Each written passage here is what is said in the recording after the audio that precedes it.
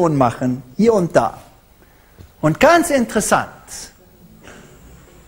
da sind viele Punkte, die wichtig sind, auf die wir geeignet uns, äh, wo wir übereinstimmen. Und die, die Regeln der Liberalen sind äh, vag, sind äh, vague. Okay, jetzt passt gut auf. Noch ein Punkt. Es ist ganz möglich, um zu sehen, was der Wert ist von kleinen Veränderungen. Aber wenn wir alle diese Veränderungen zusammensetzen, dann werden wir eine ganz große Veränderung aus diesen trivial kleinen Veränderungen haben. Also sie wussten, sie können die Bibel nicht einfach ersetzen, sie müssen es langsam machen. Äh, der Prime Minister of England, Arthur Balfour, hat dann auch bei den League of Nations äh, die Verfassung geschrieben, von wie alle Religionen geeinigt werden können. Also genau wie Konstantin eine Bibel geschrieben hat, die ökumenisch sein soll, so haben die das hier auch gemacht. Naja, hier schreibt Reverend Roland Williams, schreibt, der Hort schreibt dann ihn, da sind große Unterschiede zwischen uns und eines ist die Autorität der Bibel. Er glaubt nicht an die Autorität der Bibel, schreibt er.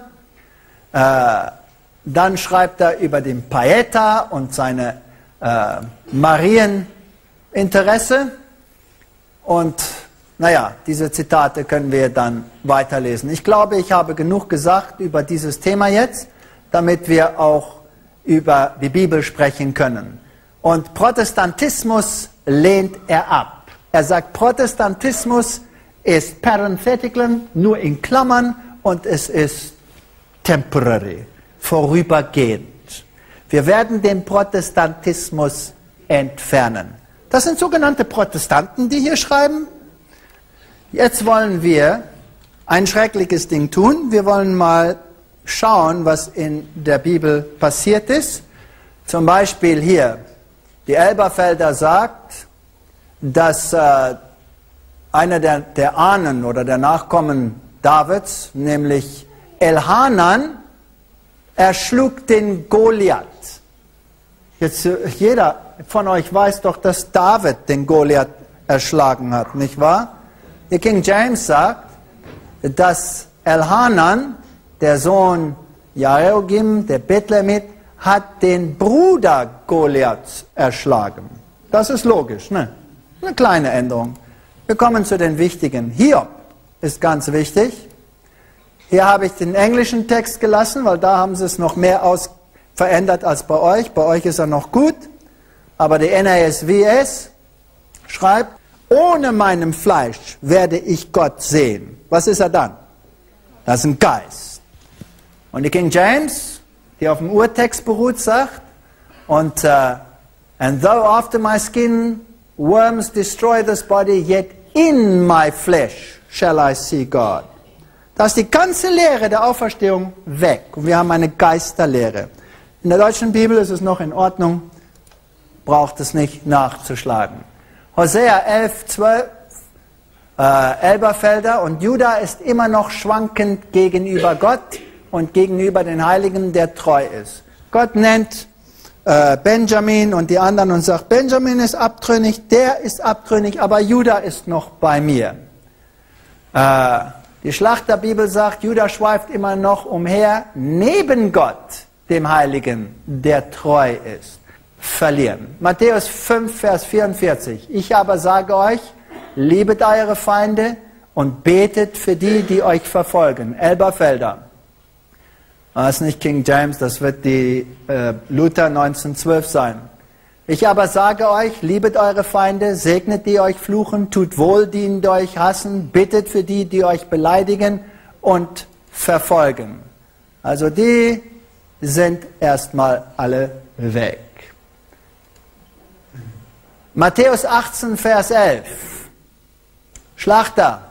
Denn des Menschensohn ist gekommen, das Verdorbene zu retten. Ist das nicht ein wichtiger Text? Weil die Elberfelger hat ihn weg. Ihr braucht ihn nicht. Jesus kann euch nicht retten, ihr rettet euch selbst. Ihr seid ja Götter.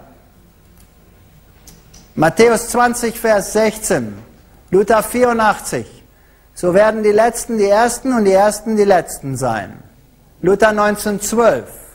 Also werden die Letzten die Ersten und die Ersten die Letzten sein, denn viele sind gerufen, aber wenige auserwählt.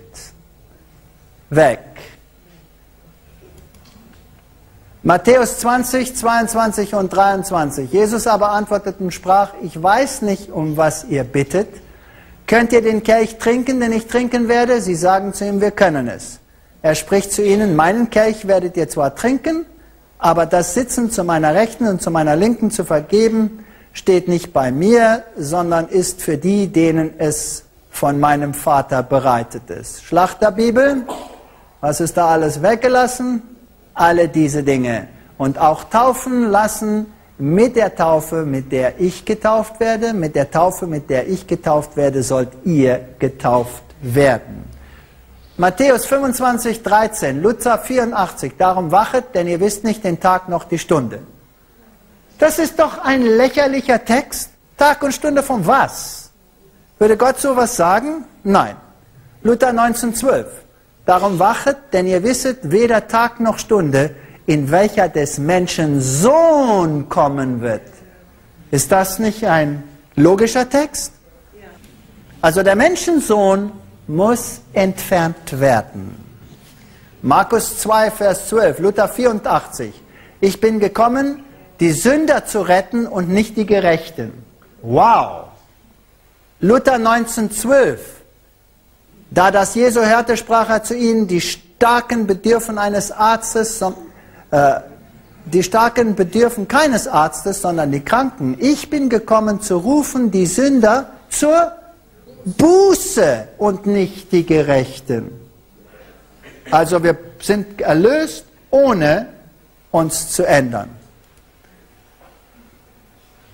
Äh, revidierte Elberfelder, Markus 6,11. Und welcher Ort euch nicht aufnehmen und wo man euch nicht anhören wird, von dort geht hinaus und schüttelt den Staub ab, der unter euren Füßen ist, ihnen zum Zeugnis. Luther 1912. Und welche euch nicht annehmen noch hören, da geht von dannen heraus und schüttelt den Staub von euren Füßen zu eurem, einem Zeugnis über sie. Ich sage euch wahrlich, es wird Sodom und Gomorra am jüngsten Gericht erträglicher gehen, denn solcher Stadt Markus 10, 21. Und komm und folge mir nach. Luther 1912. Komm, folge mir nach und nimm das Kreuz auf dich. Luther 84, Luther 1912. Liebe Kinder, wie schwer ist es, ins Reich Gottes zu kommen? ja, wie aufbauend. Luther 1912, liebe Kinder, wie schwer ist es, dass die, die ihr Vertrauen auf Reichtum setzen, in Gottes Reich kommen. Markus 13, 14, Luther 84. Wenn ihr aber sehen werdet das Gräuelbild der Verwüstung stehen, wo es nicht soll, wer es liest, der merke auf. Aha, was ist denn weg? Adventisten, ihr kennt doch die Lehre. Durch den Prophaten der Daniel geredet wurde. Ups, weg. Darum haben sie auch das kleine Horn geändert in Daniel Kapitel 8. Weg damit. Da kommt er aus dem griechischen Reich, das Horn, und er ist Antiochus Epiphanes IV und er kommt nicht aus dem römischen mehr raus. Also weg mit dem Propheten Daniel. Lukas 2, 14, Luther 84. Ehre sei Gott in der Höhe und Frieden auf Erden bei den Menschen seines Wohlgefallens. Ehre sei Gott in der Höhe und Frieden auf Erden den Menschen ein Wohlgefallen. Das ist eine ganz kleine Änderung. Was ist, der, was ist der Sinn, der hier geändert wird? Hier ehrt Gott nur die, die ihm wohlgefallen. In der Luther 84. Er hat also Auserwählte. So wie Satan hat. Aber Luther 1912 sagt, alle Menschen haben sein Wohlgefallen. Er ist gekommen, um für alle zu sterben. Das ist okkulte Lehre an der linken Seite. Lukas 4, Vers 4.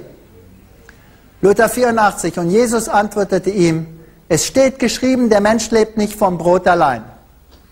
Das ist doch Quatsch. Luther 1912 und Jesus antwortete und sprach, es steht geschrieben, der Mensch lebt nicht vom Brot allein, sondern von einem jeglichen Wort Gottes. Wieso lassen Sie das weg?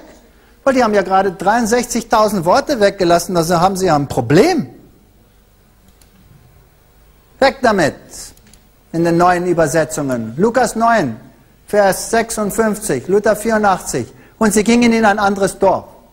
Das ist ein toller Satz, ne? Schlachter. Denn des Menschen Sohn ist nicht gekommen, der Menschen Seelen zu verderben, sondern sie zu erretten. Und sie zogen in ein anderes Dorf.